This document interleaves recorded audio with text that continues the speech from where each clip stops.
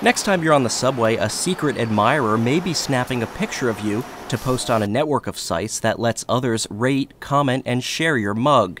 Boston T Crush went live this past week and is, quote, designed to celebrate the people you have a chance encounter with on the T, what locals call Boston's subway and streetcar system.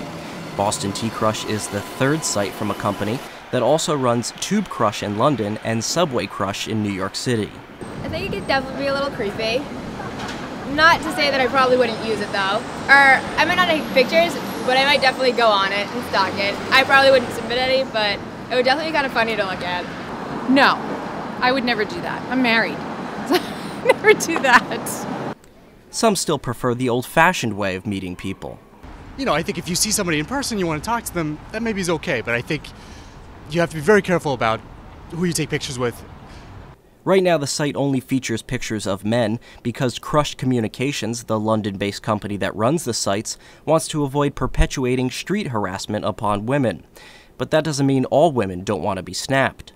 I mean, if we can take pictures of guys, I think they should be taking pictures of random girls too.